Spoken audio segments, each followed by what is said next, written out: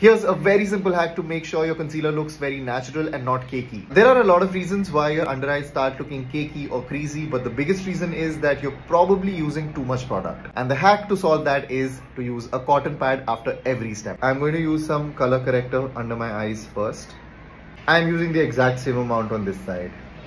And now before this dries out, I'm going to use a cotton pad to lightly dab on top of this, only on one side.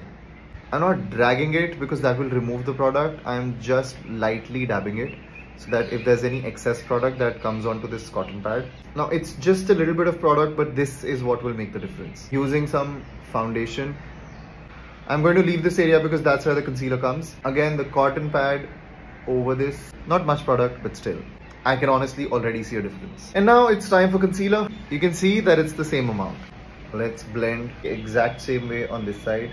Again with the same cotton pad, I'm just going to lightly dab it on this side. Now I'm going to set it with some powder.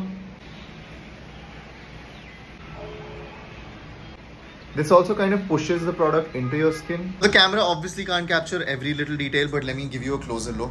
I see a clear difference. I think this side just looks and feels very heavy and cakey. In fact, there's a lot of product just sitting on top of the skin. And if you compare it to this side, this just this just looks very natural and skin-like. This will start creasing a lot more than this side. Do you see a difference? Tell me in the comments.